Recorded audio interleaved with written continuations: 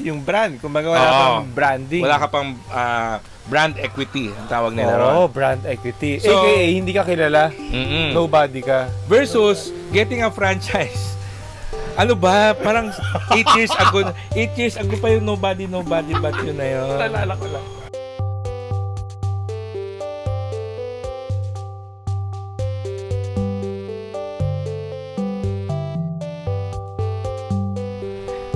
Hello! Hello. Hello everyone! So- Welcome to our new episode. yes. Salamat pala sa mga nanood dahil meron na kaming today 3 million minute view. Akala ko 3 million subscribers. Hindi pa, wala pa. Wish ko lang. Oo nga. Ayan. well, ah, kung hindi pa kayo nagsasubscribe sa aming channel, then we At bakit hindi you, pa? we encourage you to please ah, tap the subscribe button so Yeah. that ah, you'll be um, notified kapag meron kaming bagong, Bagong video. And Interesting. ano bang pag-usapan natin today? Dahil marami nagtatanong, bakit, ay bakit, paano daw ba, um, kumbaga, mag-invest sa franchise? Yan. Ah, Ano daw ba yung mga titingnan, ganyan, pagkukuha ng franchise, mga ganun ba? So, kumbaga, investing in a franchise. ah, well, Yun. Paano ba? Paano ba mamili ng franchise? Well, Teka, para okay ba yung franchise? okay ba yung Oo nga, kasi yung bago Sigurado sa... bang marami nagtatanong sa'yo? Tanong mo lang talaga yan. Hindi, marami nagtatanong. Hindi. Ah, Kasi iba, ay, business ako, ganyan. So, parang sometimes it's choice between, you know, me having my own business or franchise na lang ako. Mera, merong ano yan, merong pros and cons yung pag pagkuha ng isang business franchise Mm. which should be another episode. Oh, pwede. Oo. Sige. But to be very simple Pros about it, kung meron ka ng experience about na, sa pagtatayo ng isang negosyo oo. and medyo kapos ang budget mo for your capital, Okay. then it's better to put up your own business kasi um, ah. mas mura magtayo ng sarili mong negosyo. oh, pag franchise ba, magkano usually? Ah, ang starting? Ay, depende sa business franchise na kukunin mo. Mm. But for example, um, a simple food cart business, alam mo yun yung Mm. kiosk sa mall? Mm, yung mga master siomay, mga potato corner. mga Yeah, ganun, oo. ganun. Oh. So, ang franchise niyan, it could run around 300,000 Ha? pesos. 300,000? Oo. Pero kung sa tingin mo, ikaw lang, Mm. kung magtatayo ka ng sarili mong ganon, magkano yung gagastusin mo? Ako? Siguro mga 200 to 50. Not even. I actually know someone nagtayo ng uh, siomay food Mm. cart business na Na siomayan. Oo. Ah, Sioma- siomayan. Pumasok na siya ng mga 70,000 pesos. Oh, Mura talaga? lang, oo. Own business. Pero yun nga, the thing is, um, sarili mong trabaho yon. Ikaw ay mag-iisip Ah. ng ng pangalan, ikaw mag-isip nung Oo. formula nung sausawan mo. Saka yung mga ingredients mo pa, mga yes, taste test. ikaw yung maghahanap ng sarili mong supplier ng ingredients, ikaw yung mag-iisip ng ah, POS system mo, ikaw yung magti-train sa ikaw yung magti-train sa mga tauhan mo. yun yung gagawin nating cover photo, yung pag-hatching mo. So, At saka, bukod pa doon, syempre, ah, hindi pa kilala yung business mo, di ba? Yung brand. Kumbaga wala Oo. pang branding. wala ka pang ah, brand equity, ang tawag nila ron. Oo, brand equity. So- AKA, hindi ka kilala. Mm-mm. Nobody ka. Versus getting a franchise. Ano ba? Parang 8 years ago, 8 years ago pa yung nobody, nobody, but yun na yun. Nalala ko lang.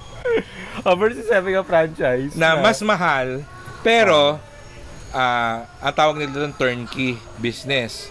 Parang Parang ano sa, naman turnkey na para yan. sa kotse, Oh. ipipihit mo lang yung Sorry, yung kotse ko, dipindot. social ka kasi. Pero ah, pipihitin mo lang yung susi, aandar na siya. Ah. So, ibig sabihin nun, getting a franchise, it may be expensive, but uh, once you get your business, fra- you invest in a business franchise, Mm. um, everything, you, someone will help you set everything up. Actually, ang Okay. pinakatrabaho mo na lang doon is, uh, Magbayad.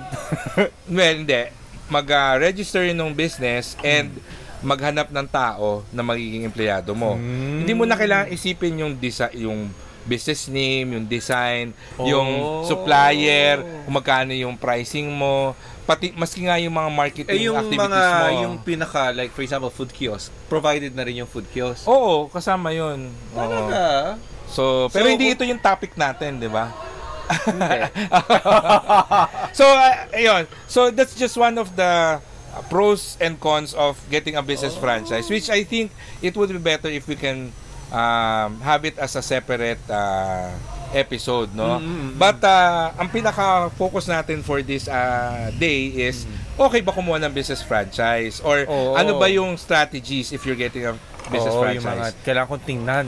Oo. If, So, if I decide, kumbaga, meron naman akong, ayoko nang isipin pa na yung mga branding, So you're mga ganyan. you're the type of person na uh, meron ka namang budget to get a franchise Oo. and ikaw mismo either wala kang experience sa pagnenegosyo or uh, ayaw mo na siyang isipin, wala ka ng oras mag-isip.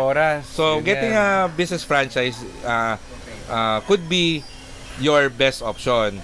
But if you are getting a food franchise, it's always it's the same with Mm. putting up your own business. Dapat yung negosyong kukunin mo o yung business franchise na kukunin mo is something na interesado ka. It's something that you're passionate about. Oh. Mm, kasi kunwari, ah, hindi ka naman masyadong kikay or sa alam mo pero kukuha ka ng nail salon na franchise, 'di ba? Hindi hindi mo siya ma-enjoy, 'di ba? Oo nga, no? Oo. Sabagay. Kasi hindi lang naman food. Kunwari, ang- may ako sa siomay, di might as well, di ba? Oo. That's why very common yung food franchise, no? Kasi syempre everyone Marami, loves kasi maraming PG.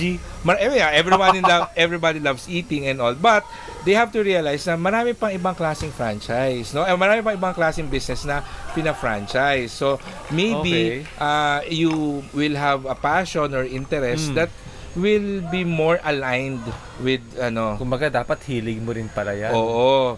Yun. Kaya actually, kar- karamihan ng mga So, medyo dapat hilig mo yung hilig mo. franchise Siyempre mo. kasi ima-manage mo pa rin yun eh. 'Di ba? Aalagaan mo pa rin yung negosyo na yon. So, uh, when it comes to food, let's say na hindi ka mahilig sa sa Mexican food. O, hindi ka mahilig. Sabihin Okay natin. ba? Ang baho-baho ng Mexican food. Oo, na, ay, hindi mo talaga ka. ship. So, bakit ka magpa-franchise ng ng nachos? Alam mo yun, yung, yung Oo. Nacho King or Oo. uh, there are business franchise uh, business food cart franchises na mga Mexican food, pero nachos, may Kunwari, tacos. pwede ako sa shawarma. O di mag-franchise ako ng shawarma. Yo, pwede yun. Oo. Uh, shawarma food cart business, di ba? Oo. So, something na hilig mo rin, no? So, para that's the enjoy first, araw-araw. yeah, that's the first thing that you need to uh, Dapat remember. hilig mo. Mm. It's important to to know exactly your budget. Na pang franchise. O, ano Nakuha pang ng franchise. Kasi, um, ang mga business franchise, iba-iba yung range niyan. Mm. So, bibigyan tayo example. Yung isang convenience store, Mm. meron silang full, ah, meron silang franchise na full full package na parang 3 million, meron silang medium size na 1 million, tapos meron silang starter starter type na parang half a million lang. So yun yung maganda sa food sa sa food. Yun yung maganda sa pagpa-franchise. The the franchisor can can create a customized package or probably they have different yung, packages. Yung, yung no? nagpapa-franchise, franchisor. Oo. Yan. Meron sila usually packages, different packages. Depende sa budget mo. Oh, di maganda. So, um, pag gusto mo mag-franchise, tanungin mo na rin sarili mo, magkano ba yung yeah, magkano ba yung kaya kong ilabas sa pera? Mm. Kasi pag makikipag-usap ka sa franchisor, you have to be honest na ito lang kasi talaga yung total na pera ko. So magkano anong klaseng franchise ba yung ah, ah, anong klaseng franchise package yung pwede sa akin? Bakit ka natatawa? Kasi kunwari, meron ka, ito na yung pera ko, 200,000. Tapos bibigyan ka lang ng franchisor. O ito isang cabinet, so yun lang yun. Sana mo na, tu- sana mo ng 200,000 mo. So sa tingin mo totoo yan? Hindi, syempre Hindi. Actually, there are franchisors na sasabihin nila na since kulang yung pera mo, we actually have a branch na pinapa-co-ownership namin. ah, so pwede yun? Pwede rin yun. So, ah, may- so pwedeng bakas-bakas sa franchise? yes, oo, pwede Oh, yun. good idea yun, ha? Pero another topic lang yun, how to choose your business partner. Hindi, actually, it's the same. Ah, kasi, usually, yung mga co-ownership ng mga franchise ah, businesses, Oo. merong isang manager yan. Mm. And more often than not, the manager is from the company itself, from the franchisor mismo. So, which gives, which brings us to the next uh, criteria, which is so you should you can co-manage and co-invest. co-own actually ang tawag. Co-own. Kasi pag co-owner ka, you can no longer, you, chances are you cannot manage it kasi Oo. uh, they don't want Kunwari, oh, a lot of people managing the business. There's always one assigned manager na if you want to co-own this business, you have to give all your management privileges to that co co-man. So, that kunwari, ah, meron kang day job or for example, OFW ka, ganyan. So, Mm. pwede kang maki-co-own ng franchise. Pero that's that's not Pwede. an option that is frequently offered. Ang pinaka Ah. again, that's why it's important to know how much budget you have. Mm. Kasi when you talk to a franchisor, a franchisor, Mm. uh, you will tell them na ito lang yung budget ko. Do you have any options available Mm. or do you have any franchise packages? So, I'm saying that a few of these franchisors actually offer co-ownership. But Ah. a good number of them do not. Mm. Okay? So, Sige. Take that. uh, Mental wag, note. wag niyong i-expect na magkakaroon kayo ng co-ownership Oo. na opportunity. Very few lang yung merong Basta ganon. be transparent Oo. of your budget. Oo. Kasi, usually, nag-advertise siya na parang 200,000 to franchise. Oh. Pero that's just a franchise fee. Yung setup, yung construction, etc., pwede kang umabot ng half a million. So don't be misled with the franchise fee so na the franchise mura lang. fee is just that to get the franchise. Oo, it's just to buy the license. Ah. Pero yung mga initial supply, the Oo, business inventory. registration, the training, etc. Usually may additional yan na bayad. Kaya you have to be transparent kasi Mm. baka baka sabihin baka sabihin mo na meron akong 500,000 pesos, I want to get the 500,000 peso package that you have. So may plus plus pa Pero wala yun. na pala ako ibang pera. So you Oo. have to be honest with the franchisor na ito na yung total na pera kung kaya kong i-invest. Ah. So probably they will give you the 300,000 peso package Oo. kasi 200,000 pesos yun yung working budget Oh, mo. para may meron ka pang ah, Oo. capital for ano for other expenses. Oo. And, and actually, syempre, ang isang negosyo sa first few months yan, maliit pa ang kita. So, kailangan meron kang extra budget para pa, pampasweldo sa mga tauhan mo, pambayad ng mga monthly expenses mo, operating May, expenses may friend mo. ako nag-franchise ng ganyan din, convenience store. Mm. Ano, first few months talagang ano talaga, medyo Negative ka dun. Oo. Yeah. So which- manage also your expectations. Oh, whi- which is uh, the next criteria if you're choosing a franchise, dapat kumuha ka ng franchisor na willing mag uh, willing kang turuan Mm-hmm. or willing kang i-guide sa pagnenegosyo.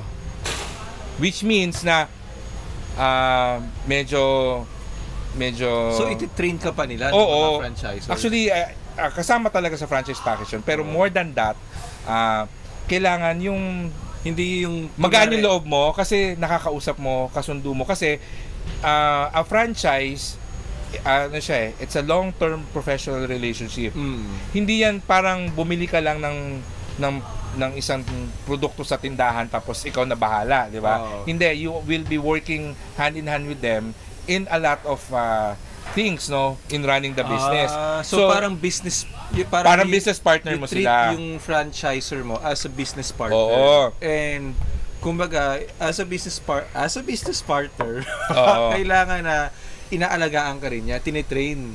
Oo, kailangan ramdam mo yung pag-aalaga nila. Yun yung ano, that's what I'm trying to say. Oo. So kung nag inquire ka pa lang ng Mm. franchises, medyo nasusupladuhan ka na dun sa franchise eh, manager. Oo, meron ganon. So, I suggest na wag na lang. Alam mo yon So, Ah. doon ka sa medyo ah, masaya or m- maalaga, ah, maganda yung customer service. Kasi isipin mo na lang yun, meron kang franchise business, tapos nagkaroon ng problem. Sino una mong tatawagan? Yung franchisor mo eh. Of Diba? course, of course. Tapos kunwari, meron, nag, meron kang food cart business, naubos yung isang mong ingredient, Mm.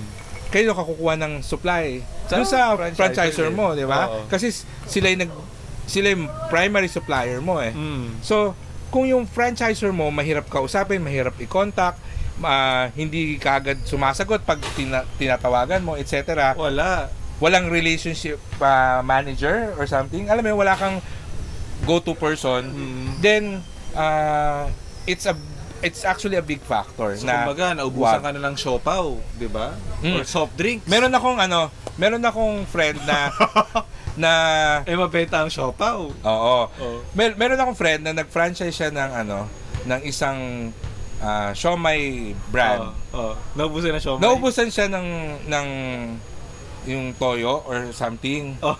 Tinawagan niya yung franchisor niya. Oo. Hindi, tinawagan niya yung oh.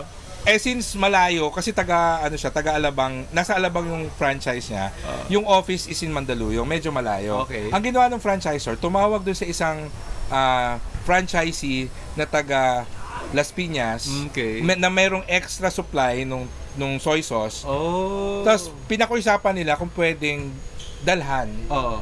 So na, na, na- nadalan So, siya, tapos siya nagpadala na lang siya ng replacement na supply Ah. dun sa So alam mo 'yon. Galing ah. It's a it's it's also important to to see kung yung mga mga existing franchisors Mm. are happy, no? So before you Oh. before you get a franchise, check mo yung mga ibang nag-franchise na. Oo. So, Tas- kumbaga, to validate also. Oo. Tapos, pwede mo silang tanungin, no? Okay ba? Ganyan, ganyan. Ah, Mm. how's, How's the your ex- relationship? How's Oo. your experience? Oo. Ganyan. Kasi, How's more, the support? more often than not, Oo. sila din yung tutulong sa'yo. That's why, that's, ah. that's yung example ko, no? Oo. So, syempre, ah, So, sa pag- alabang siya, pero nagkaroon na rin siya ng relationship doon sa mga ibang franchisors. Oo. So, pag in kinula the siya ng toyo. Pag Oo. kinula siya ng toyo, pairam naman ng toyo. Pwede, eh, exactly. So, Galing ah. you should also assess, no? Sino Oo. ba yung mga ibang nag-franchise ito? Bisitahin ko nga, especially, Right. kunwari, balak mong maglagay sa Quezon City. Hmm. So, tingnan mo, san, sin, san ba yung mga location ng mga ibang mga franchisors So- sa Quezon City? Bisitahin mo, tingnan mo kung okay ba sila. Or kung parating may inventory, Oo. ganyan. Kasi malamang magiging kaibigan mo rin sila. Kasi ang franchising, hindi siya talaga competition with other franchisors. Mhm. Lahat kayo tulungan. It's a family, no? And with the mother franchisor, parang Oo. ganyan, siya yung nag-guide sa inyo lahat. So again, that's why it's very important yung customer service, yung Mm. yung relationship na nararamdaman mo na ah, gina-guide talaga ako rito. So it's not just all about the numbers na mabenta tong produkto na to and Oo. all. Kasi kahit na sobrang mabenta ng produkto mo, eh yung franchisor mo naman ay taman mag-deliver, Or- laging ubos yung supply. Ubus yung patatas. Oo, anong ganyan. anong ibebenta mo, 'di ba? Oo, 'di ba? Tapos kunwari, ano ah kasi part of being a, in a franchise is yung marketing strategies niya, Oo. hindi mo na rin iisipin yun. Kasi yung mother, yung franchisor, sila na rin yung nagpo-provide sa'yo ng mga materials. O meron tayong promo, ah, nationwide to. Ah. So ito, makwari, buy one, take one tayo. Oo. So, alam mo yun, hindi mo na kailangan mag-isip ng promo. So, Actually, kumbaga, pag if you get a, pr- a franchise, ah, ano ka na lang doon, parang plug and play. yun nga, turnkey business. Hindi siya plug and play. Well, pwede na rin. Yeah, oo. I, I can say plug and play, but it's more of a turnkey business, no? Kaya siya yung tawag doon. So, yun yung isa sa mga ah, yun, yun yung next consideration. Ah, kung okay ba yung ah, Eh, yung service mga- nung franchisor. Okay, yung service. Eh, yung mga kunwari, di ba, I, I- I'm sure kapag may franchise, bibigyan ka ng manual, ganyan. So, okay ba yun na, ay, aralin mo na lang yung manual? Gano'n? Yes, kailangan mo aralin yun. Ah, kasi that's the Bible on how to run the business. And again, the franchisor, the, the yung mother manual? company Oo. should provide training and guidance on how to operate the business. Ah, hindi lang tipong, o basahin mo yan. hindi. Meron tayong training where we will discuss this Oh. training manual. Oo. Meron yon. So, dapat updated din pala yung... And yeah, th- that's the next thing that they Oh. should uh, look.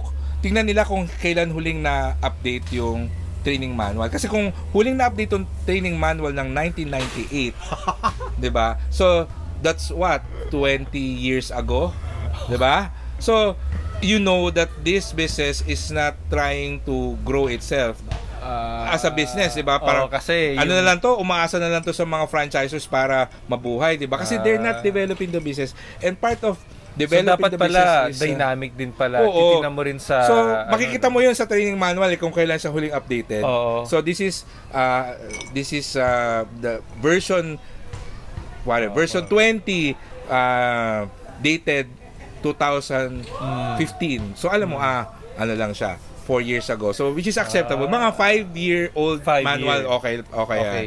Pero pag more than 5 years, matataka ka na. Kasi syempre, the economic situation 5 years ago is different from today. Oo, saka baka so, dapat may- nag-adapt na yan sa mga Yes.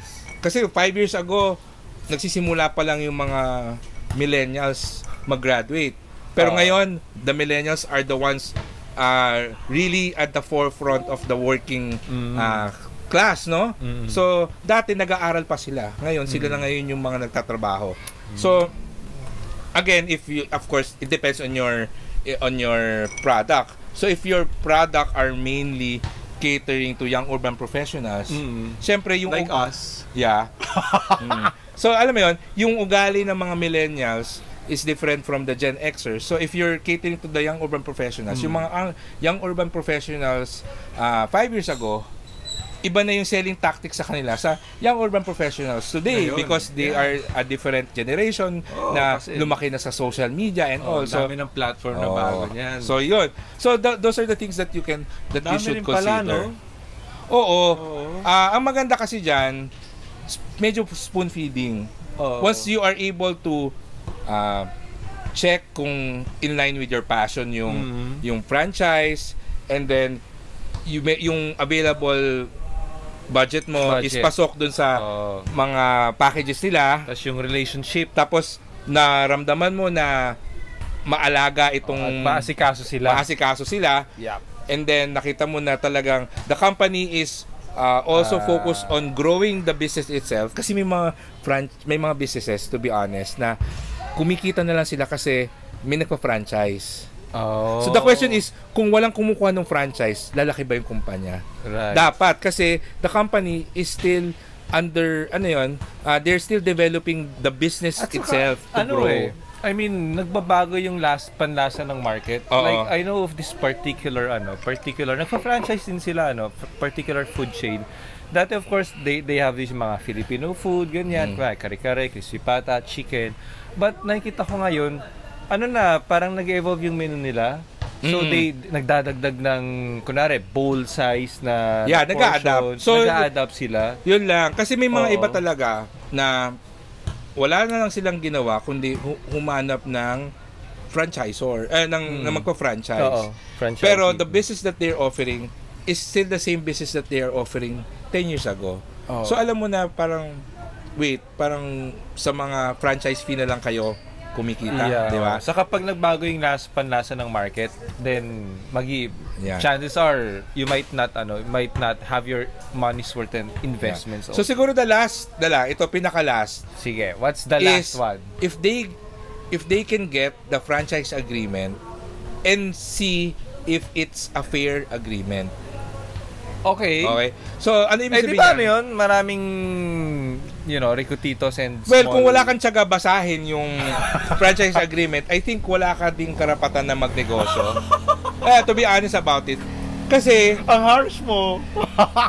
mas mahirap mag magpatakbo ng negosyo kaysa magbasa ng isang franchise agreement. And a lot of that, a lot of times, May tama ka dyan. a lot of times, yung yung nagiging problema sa I like business. that. Kung, kung wala ka Oo. tsaga magbasa ng business agreement, wala ka tsaga mag-franchise. Oo, no, mas mas stressful kaya mag magtayo na mag-manage ng business kaysa mag intindihin ng isang franchise agreement. Oo. Kasi ito, isang isang example. Oh, kasi down the road, magkaroon ka ng problema. Ito, meron Oo. akong friend, nag-franchise siya ng isang laundry shop. Mm. Sobrang sobrang mabenta, sobrang lakas ng sales niya. Okay. After five years, nag-expire yung franchise agreement, so nire-renew niya. Mm. The company chose not to renew. Oh. Tapos yung branch niya, naging company-owned na. Ah. Bakit? So sabi niya unfair. Nakita, kasi nakita lumakas. Kasi nakita malakas. Tapos nung tinignan Oo. niya yung franchise agreement, nakalagay doon na after 5 years, the company has the right not to renew it. Oh, na-miss niya yun. Oo. So, wala siya magagawa. So, wala na siyang ganun. Wala na. Ah? So, again, syempre, the franchise agreement, it's all there. So, you have to understand it so that it can manage your expectations. Mm. If you have, ito yung maganda, if you have, um, tawag rito, objections sa franchise agreement, oo. you can always raise it up. Ah, And, okay. uh, a lot of times, it can be amended or it can be changed. It can be customized oh, to your, ano, so to your needs. all na nakasulat doon is written. You can also, ano, Oo, may negotiation pa rin yun. Okay, that's eh, yun good. nga, yung mga ibang tao, tamad, pirma lang ng pirma. okay, wag Oo. pirma ng pirma at wag tamad. Oo. Kasi pag tamad, alam mo wala kung, kang karapatan. alam mo yung advantage siya kasi I also I have also met someone uh, nag-franchise siya ng isang uh, pizza store. Mm. Tapos yung isa niyang kaibigan, malakas. Mm. Isa niyang kaibigan nag-franchise ng same brand. Mm, Okay. Ngayon, siyempre, ah, medyo magkalayo yung negosyo nila. Mm. Pero after a few years, medyo humina. Mm. Yung friend, yung isa, yung pangalawa, Mm. nag-decide na maghanap ng ibang place, tapos nilipat niya yung location niya doon. Mm. Same franchise. Oo, same franchise. Okay. Di, lumakas ulit siya doon sa bago niyang location. Okay. Yung original na friend, Mm. gusto rin niya gawin, pero hindi niya magawa. Ayo, bakit? Because, Kasi yung franchise agreement niya, nakalagay doon na hindi pwedeng ilipat. Pero yung isa, Oh. Yung pangalawa niyang friend, Mm. nakita niya na bakit hindi pwedeng ilipat. So, ninegotiate niya.